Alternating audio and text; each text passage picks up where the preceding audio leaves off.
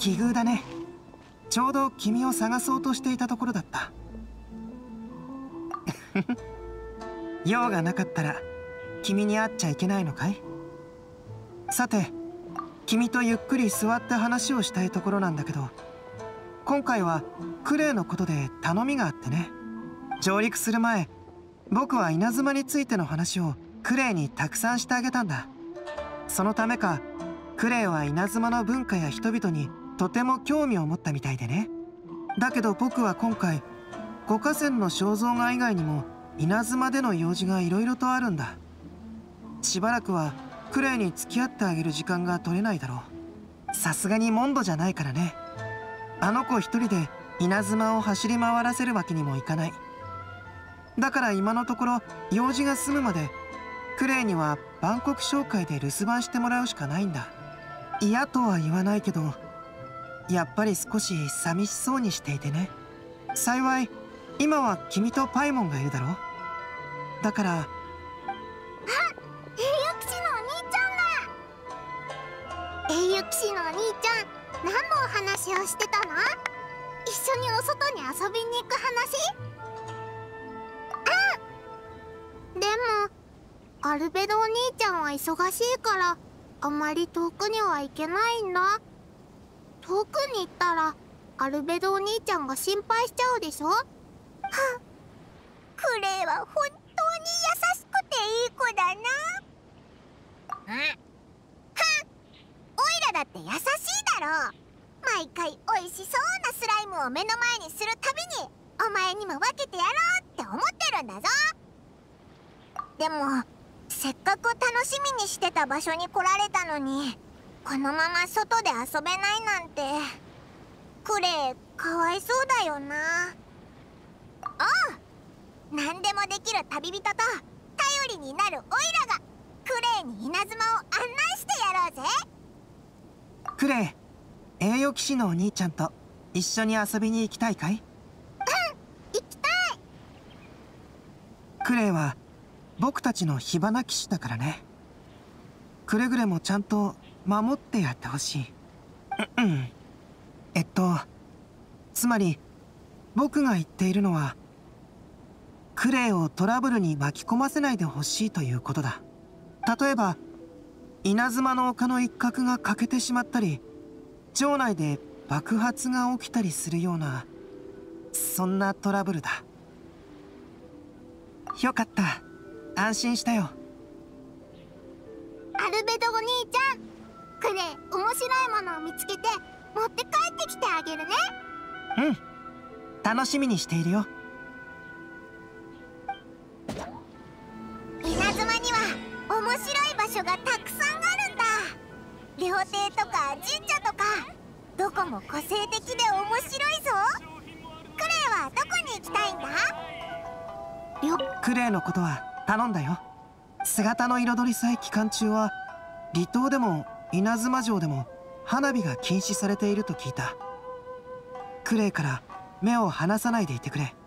ああもうあんなところまで走って早く行くといい。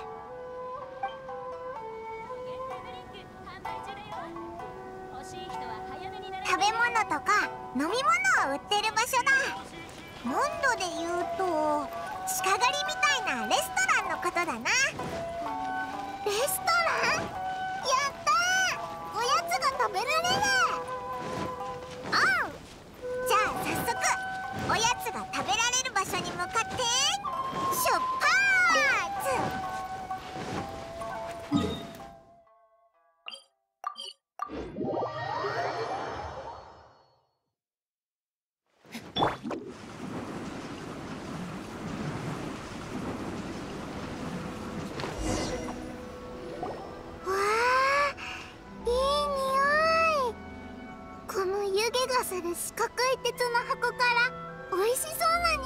するよ。栄誉騎士のお兄ちゃんこれ見て。このヌードル。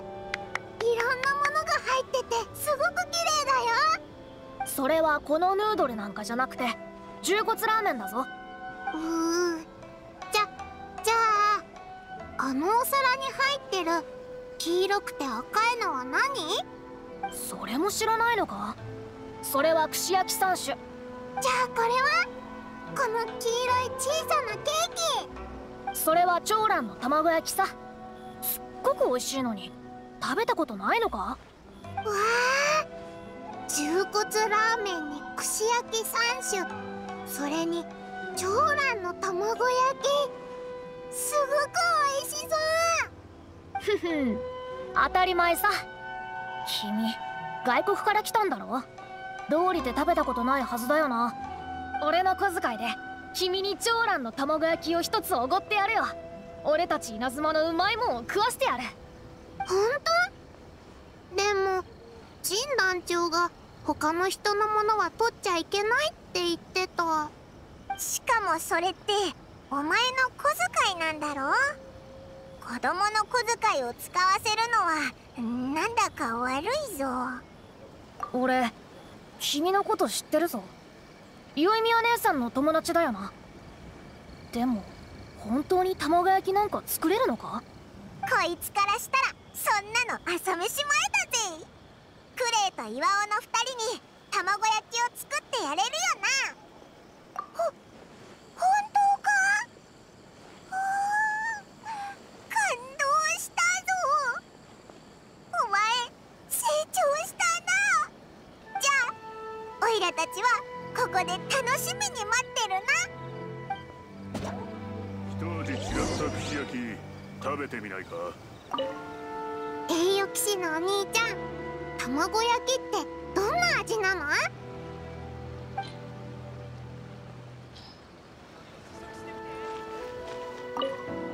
兄ちゃん本当に卵焼きが作れるの？もし腕前に自信がなかったら志村勘兵衛おじいちゃんのところで買ってきてもいいぜ大丈夫。笑わないから。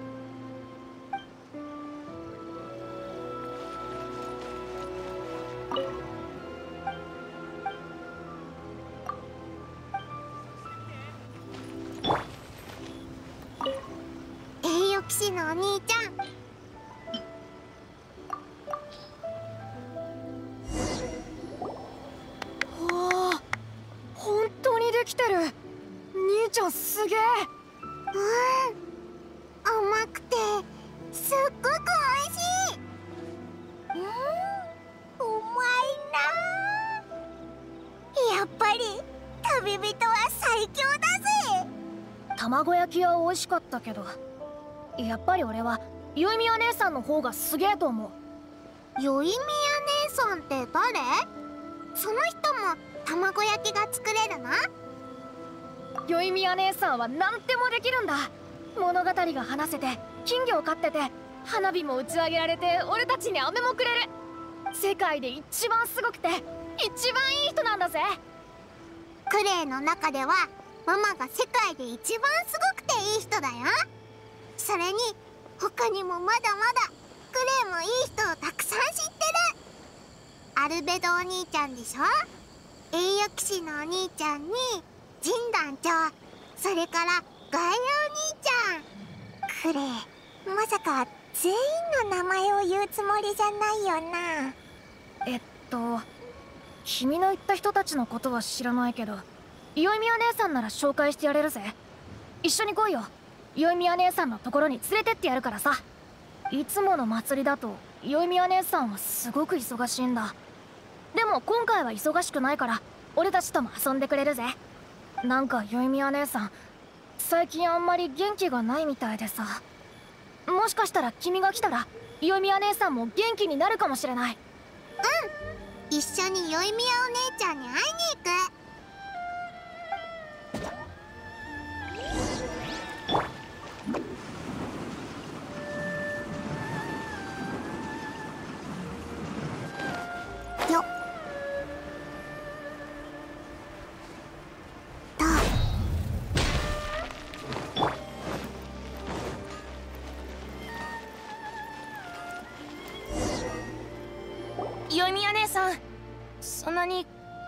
ないで。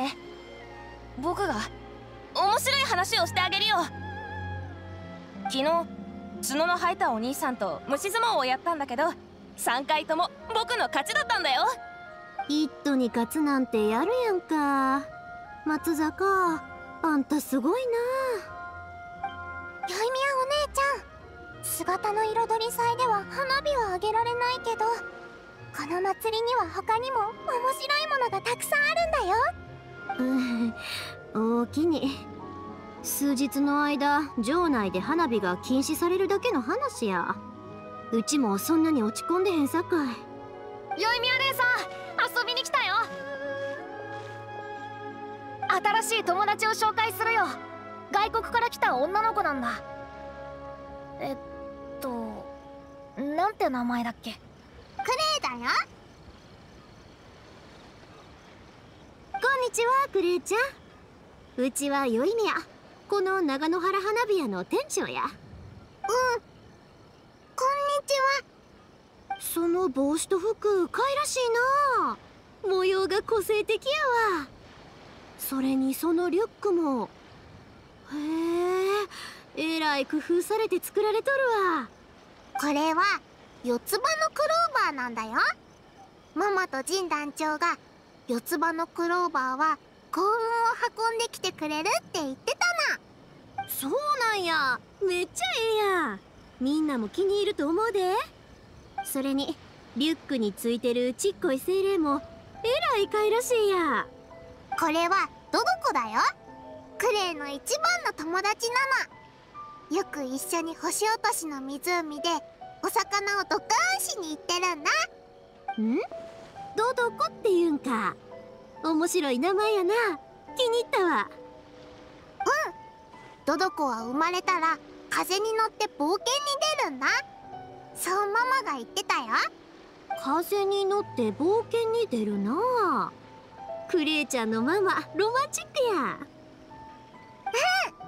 ママは一番すごくて一番いい人だよ。岩尾くんの言ってたこと本当だったねよいみやお姉ちゃんもすごくいい人。うちもクレイちゃんとはキーやわ。うちら絶対ええ友達になれると思うで。二人ともすっかり意気投合したみたいだな。よかったぜ。クレイちゃん四つ葉のクローバーが好きなんやったらうちが四つ葉の形した花火作ってクレイちゃんに見せたるわ。やったー。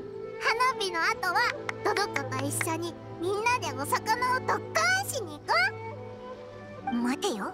お魚をドカーン？えダメだからな。アルベドから言われてるだろ。あー少し浮かれすぎてしもたわ。忘れてまうやなんて。シャブ業の人から言われてるんや。姿の彩り祭の期間中は稲妻全土において花火は禁止やってな。じゃあダメなの？うーわかった。おいおい新しい友達ができるのって嬉しいことのはずだろ？なんでこんな悲しい空気になってるんだよ？そうだぞ。やることはまだまだ他にもたくさんあるんだ。そうそう。さっきサイカが言っただろ？祭りには他にも面白いものがあるんだぞ。どうやクレイちゃん？もしかしたら姿の彩り祭も楽しいかもしれへんで。クレイ姿の彩り祭に行って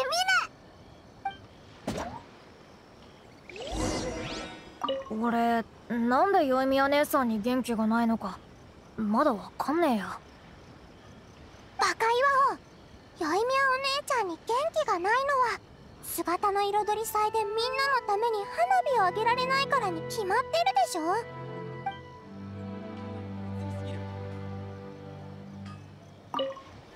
きっとよいみや姉さんは花火があげられないのがすごく悲しいんだと思う。ねえよいみや姉さんと一緒に姿の彩り祭に行ってあげて。僕は最強の鬼カブトムシを持って角の生えたお兄さんに会いに行く。それでまた買ってきて僕のやり方でよいみや姉さんを喜ばせるんだ。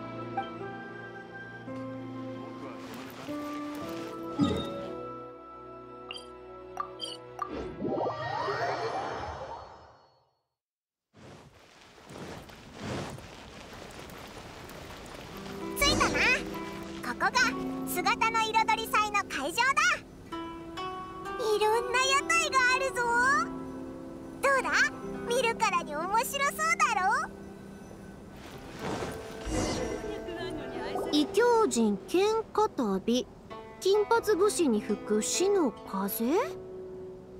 長い名前やな。初めて見るわ。新しい小説やな。作者草竹一志かよいみやお姉ちゃんこのお名前変だよ。草竹一しかじゃなくかやぶき一慶だ。うん。まあ俺の名だがな。異教人喧嘩旅は俺の最新作で金髪武士に吹く死の風はシリーズの第一部さ。その異教人に吹くうの物語にはいい友達は出てくる？ガイアお兄ちゃんが言ってたよ。いい物語の主人公にはいい友達がいるもんだって。いやそれはない。全く持ってない。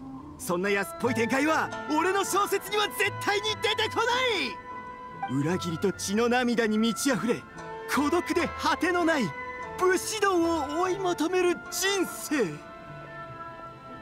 これこそが小説に書くべき物語だ。そそうなんかその物語はクレイちゃんには合わへん気するわ。ううちらやっぱ他のとこ見てくるな。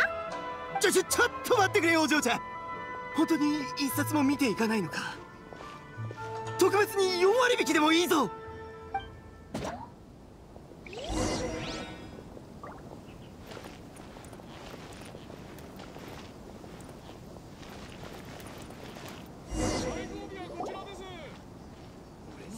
フィッシュルなんとか物語うーんフィッシュルお姉ちゃんの物語みたいだね。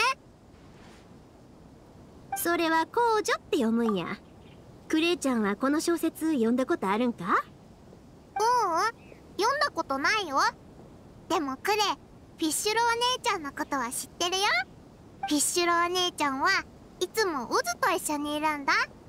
これはね冒険者協会のみんなが知ってることなのクレイとドドコがいつも一緒にいるのと同じ。ドドコ今退屈だなって思ってないかな。クレイちゃんこれも仕方あらへんことなんや。姿の彩り祭には本が多いやろ。燃えてしまうもんやさかい。火に気ぃつけへんかったらあかんねん。うーん。姿の彩り祭もよいみやとクレイを喜ばせられなかったなうーん。でも花火もお魚ドカーンもダメでもきっと他にトドコと一緒にできることがあるはずだ。例えばうーん。ん？つまりどういうことや？そっか。姿の彩り祭っていうのは作品を展示する場なんだからみんなと同じようにトドコの物語を展示するといいと思うぞ。うんうんこの考えいいんじゃないか？クレイねアルベドお兄ちゃんにお絵かきを教えてもらったことあるよ。トドコが稲妻で出会ったことクレイかける。想像力豊かでええやん。うちも賛成。それにかけた物語を姿の彩り祭で展示できるなんて楽しみやわ。やったー。トドコもきっと喜ぶはずだよ。うんうんよかったな。じゃあクレイちゃんうちの店に紙とか筆とか絵の具取りに戻ろう。一緒に物語書くで。出発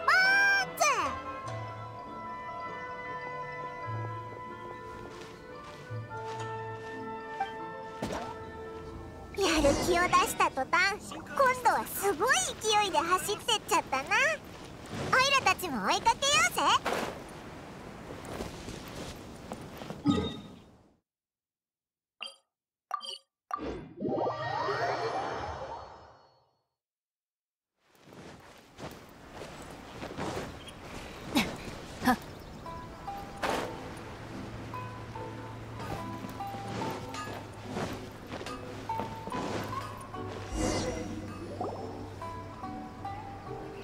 さっきクレイちゃんと相談したんやけどな。この物語の内容はね内緒にするって決めたの。まあ理由は聞かんといてや。後でわかるし。うちらが店にいる間あんたらは姿の彩り祭を見てきたらええわ。また時間経ったらうちらんとこ戻ってき。ゆいみやお姉ちゃん早く。早くお絵かきしに行こう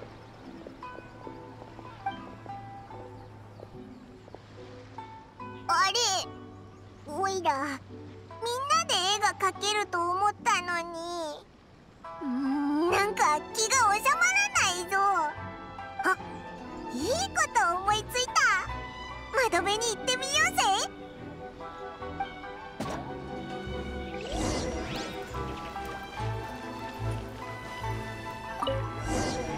どどこが稲妻に来たらどんなことするんかな？えっとねどどこは美味しい串焼き3種と牛骨ラーメンと長蘭の卵焼きを食べるんだよ。へえええ感じやん。クレイちゃんはそれ書いてるんか？めちゃくちゃ上手に書けてるわ。書き終わったら印刷しようか。ぎょうさんすって姿の彩り祭で配るで。うーんでも印刷するんやったらモラいるやんな。うちが普段から貯めてるお金で足りるんやろか。ゆいみやお姉ちゃんクレイもモラ持ってるよ。50モラじゃ足りひんかもな。本当にどうしようもあらへんかったら旅人に何とかしてもらうか。うんとね栄養騎士のお兄ちゃんはすごく大変だからクレイもう迷惑かけたくない。だからクレイがお魚をドカーンしてモラを稼いでくるお魚ドカンはあかんってパイモンちゃんと旅人に言われてんのやろ？うん。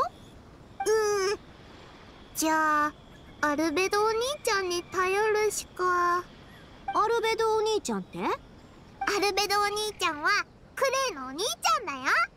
すごく頭が良くて何でもできるのお絵かきも上手でヒルチャールとかガイアお兄ちゃんとかドドコも描けるんだよ。アルベドお兄ちゃんが稲妻に来たのもみんなに絵を描いてあげるためなの。ああなるほど。クレイちゃんの言うアルベドお兄ちゃんは多分八重堂に協力してる画家の先生やねんな。画家の先生？それって絵を描く先生のこと？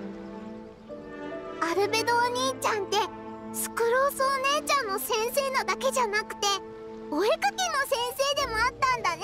ゆいみやお姉ちゃん見てて。アルベドお兄ちゃんが教えてくれたの。ドドコの色はこうやって塗るんだよ。へえよう似てるわ。そうやったらうちはこっちの街道書いとくしクレイちゃんはどどこに色塗ってや。それにほらここに字入れれるから絵の説明もできるで。じゃあこう書くね。うわあもう聞こえないみたいだな。どどこは稲妻でほんまに楽しそうに遊んでるな。二人ともまるで本当にドドコと一緒に遊びに行ったみたいに嬉しそうだなさてあとはどどこの物語を印刷するだけや。八重堂に行こうか。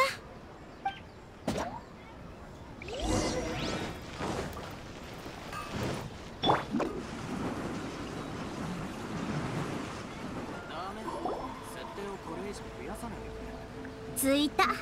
ここが八重堂や。八重堂の人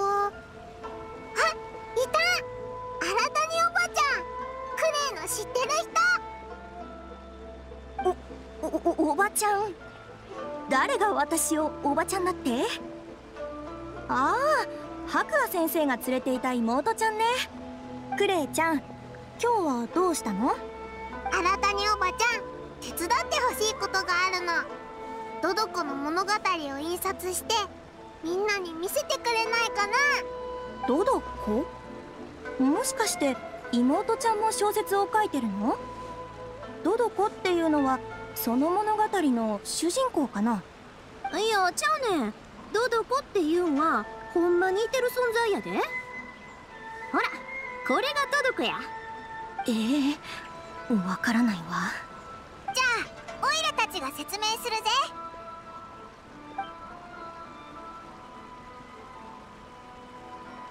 ぜ。なるほどその願いに応えてあげたいのは山々だけどごめんなさいね。姿の彩り祭における個人作品の印刷委託はもう期限が過ぎてるのよ。それってトドコはみんなに会えないってこと？ごめんねクレイちゃん。うーん。クレイちゃん？そんな悲しむことあらへんで。まだうちと旅人がおるやんうちらが方法考えたるわ。その新たにさ本当にどうにもできひんのか？モラならいっぱい出すで印刷の人手が足りひん言うんやったらうちらが手伝う。宵宮さんお気持ちはわかるけれどこれはそう簡単に解決できることじゃないのよ。今回私たちが個人作品の印刷まで手伝ったことで多くの本の印刷が遅れてしまったの。最近は印刷工場も大急ぎで遅れを取り戻そうとしてるわ。だから本当に無理なのよ。どうしよう。本当にどうしようもなさそうだぞ。いや諦めさせたりせえへんで。うちが子供の頃父ちゃんが祭りに連れてってくれる言うたのに仕事が忙しすぎて忘れられてしもたことがあんねんいつになったら父ちゃんはうちを連れて行ってくれるんやろってずっと考えて。祭りに参加した人がどんどん帰ってきてもずっと待ち続けとった。その夜うち大泣きして。そんで今でもずっとあの時どれほど悲しかったか覚えてる。うちはクレイちゃんにそんな思いさせとうないんや。印刷できひん言うんやったらうちはうちのやり方で最善尽くしたるわ。だからうちは自分で書く。この何日かを使って書けるだけ書いて姿の彩り祭に持ってく。宵宮のその譲らぬ姿勢わらわはとても気に入っておるぞ。ミコそれにアルベドも状況は相分かった。申し訳ありません。八重様よい分かっておる。汝はただ決まりに従ったまで。それに印刷の進捗も確かに芳しくはないからの。じゃが八重堂は人々に夢と喜びを与える存在じゃ。川行き目の子の願いすら叶えられぬなどみっともないことこの上なしじゃ。そうじゃな。うむ分かった。宵宮そして目の子よ。主らの作品を印刷させてもよいがちょっとした代価を払ってもらうぞ。それでもよいか？宮司様代価なんてとっくに覚悟してます。もったいぶらんと言うてください。まったく。何も恐ろしいことではあるまいしわらわを鬼ババのように言うでない。わらわが言いたかったのは今から印刷をするには一つしか手段が残っておらぬだろうということ。それは他の印刷物の余白に付け合わせ印刷をする方法じゃ。じゃが現状反面にはもう角しか印刷できそうな余白が残っておらぬ。その本を入れるには大きさを半分にする必要があるぞ。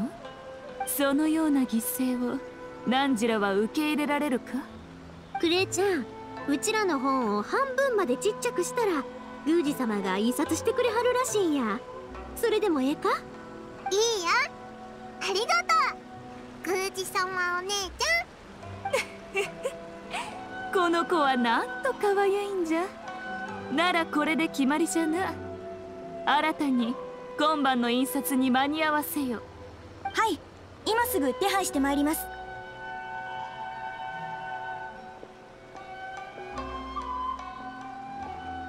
付け合わせ印刷をすることは確かに可能かもしれないけど印刷工場にはきっと迷惑をかけてしまうだろう。本当にすまない。気にせずともよい。この小さき手助けはクレイちゃんへの手土産じゃ。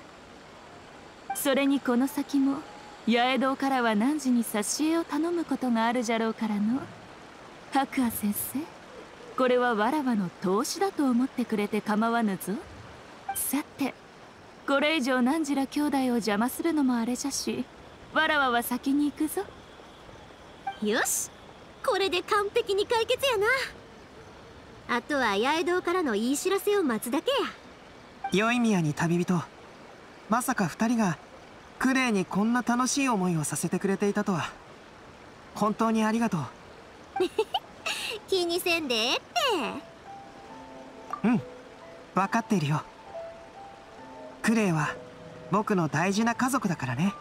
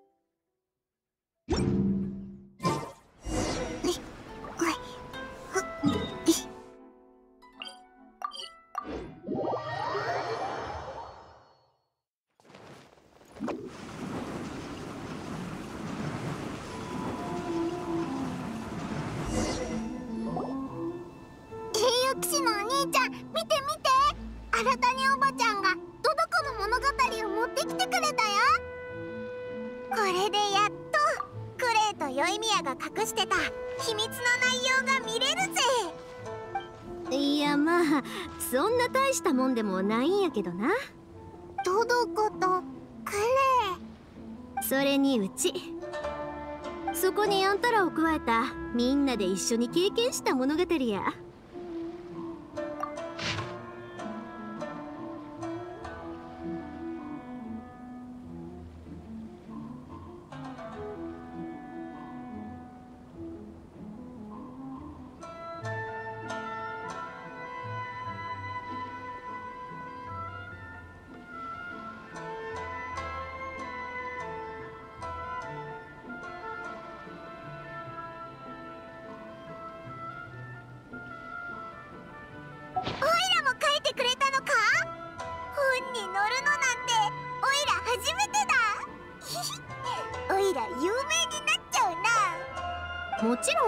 ちゃんかって出てくるで。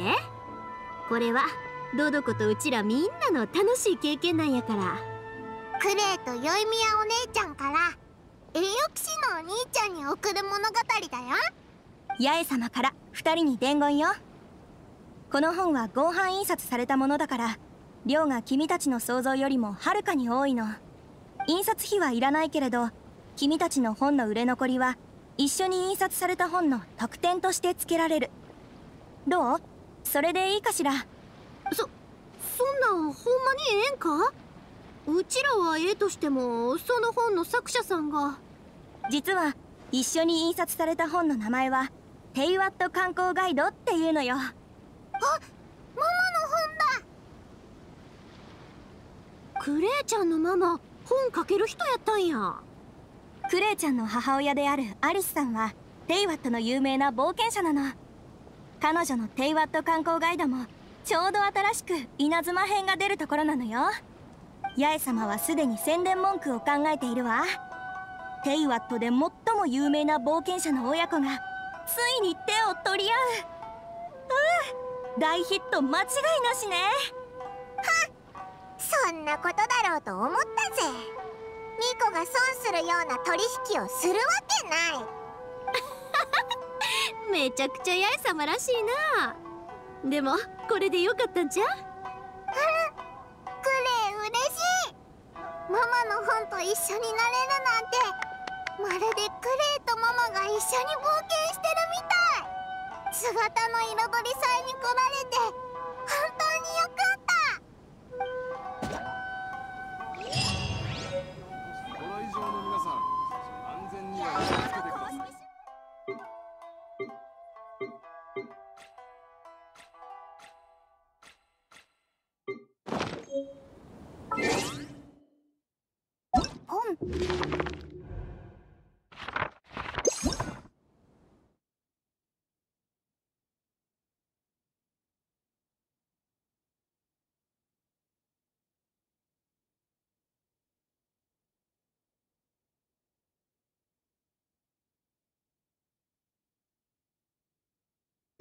よ